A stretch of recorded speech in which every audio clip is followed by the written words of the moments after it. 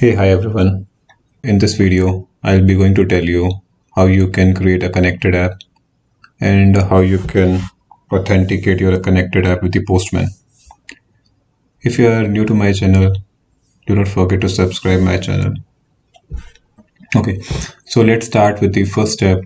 Uh, and just to tell you right, so in the end, I would be documenting all these steps and would be putting it my in the uh, notes and description of this video. So you if you don't want to go through the complete video and just want to check all the details you have an option to read through description and get those details. And if you find an issue and you want to see how I have to do each and every step manually you can go through this video of course.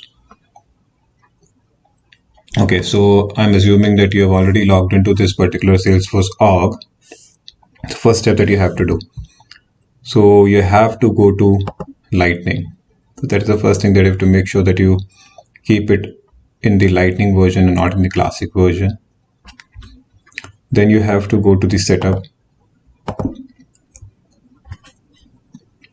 Okay under setup you will see the quick find. Click on app here like and you will see the app manager. So click on this app manager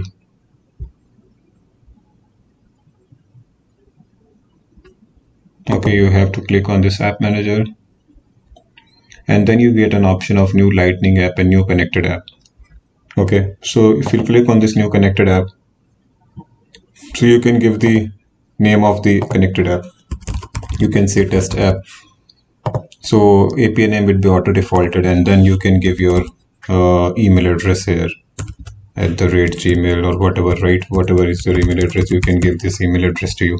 But once you will put this email address uh, salesforce will authenticate this email address. So you have to authentic you have to go to this email address and authenticate your email address. So once you do this uh, then you have to select on enable OAuth settings. So as soon as you will click on the enable OAuth settings it will ask you the callback url so the callback url what you have to do is you have to use the login salesforce.com oauth and success. So i will put that url again in the uh, description of this video. And if you want to see it like how it should be. So again i have all these steps manually. So this was so the url would look like this actually. So login.salesforce.com services oauth success. So this is what would be your url again this is what i'm saying for the production environment. So this will be the callback url okay so uh, under the select OAuth scopes so you what you can do you can give a full access here. So basically when you'll get the full access the uh, the connected app gives complete all the permissions basically to the end user to authenticate or to get the data from the from your system and then under this required secret for web server flow and secret you can just uncheck these two settings not required. And once you're done this you can just click on save. Okay so once you're done once you're done with this uh, you can again go back here click on the app manager. Okay you will see the connected app is successfully saved. Okay and you will see like this. Okay so i have uh, multiple apps and then this is the app which i have created for this purpose. So you can use this one. If you click here and click on view.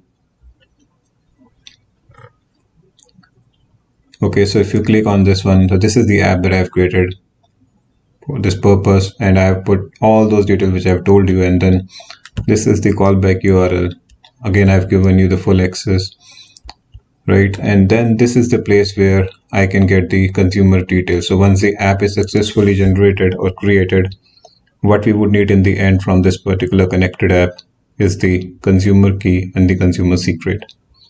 So consumer key and consumer secret basically will help you authenticate your Salesforce with the Postman or any third party that you want to connect to. Okay, so I hope I hope you are clear with the how you can do this setup or how you can create a new connected app in the Salesforce system. Right now, we'll come to the second part of it, and the second part is how you can create or how you can uh, do the settings in the postman definitely you have to download the postman latest version in your system and then once you're done with that so this is how the postman would look like so again I will just guide you all the uh, you know the URL that it should be or the parameters that you have to set. So under params, nothing you have to do here. So you have to click on authorization. Under authorization, you have to make sure that you select O2 here. So under add authorization data to, you have to select request header.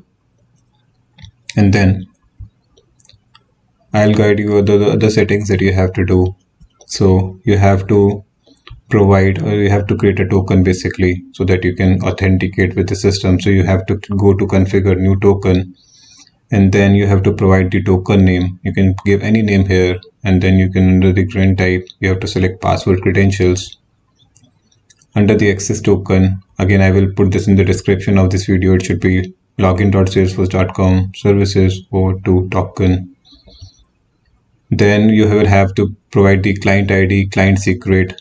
Client id you have to provide client secret username and then you have to provide the password. So under client authentication you have to share password credentials in the body and then once you will generate the new token you can use that new token for making the next call out. So once you will do that you have to provide the service url of your particular service that you have generated.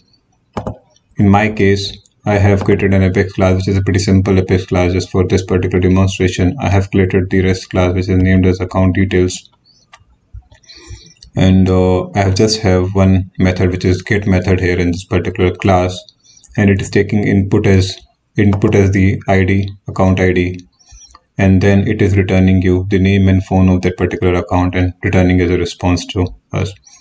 Okay so if I have to just do the testing of this particular service I have uh, this is the URL that it would look like. It would be your HTTPS my domain then my.salesforce.com backslash services apex rest and then this is the name of your apex class. And then i'm inputting the in account id as the parameter which i have for my particular get method. So once i click on this send so you will see here it is returning me the name which is abc account and phone number of that particular account in the response. Okay so yeah so this is how you can do the testing again like with this uh, and just make sure that this is a get method so you have to make sure that you select get method here so that you get a proper response. If you select post let's say you have written a get get method in the apex class and you're doing the post call it will give you an error message saying that uh, a method not allowed post not allowed. So you have to make sure whatever method you have written in the apex class you select the same here and click on send so i hope uh, you have liked this video and uh, i just tried to make this video pretty simple so that you understand how you can create any apex class in salesforce how you can create a connected app and how you can authenticate your connected app with the postman. So if you've liked this video please do not forget to like and share this video and do not forget to subscribe my channel. I'll see you in another video and uh, i would love to see your comments. What kind of videos you want to see next. Thank you. Thanks everyone.